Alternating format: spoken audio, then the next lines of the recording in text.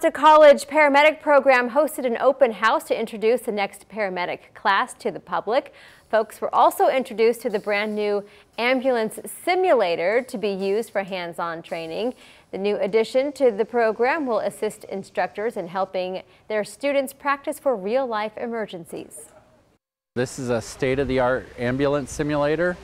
It moves, it rocks and rolls, and we can play traffic noise on the inside and it's just a great way for the students to practice their skills.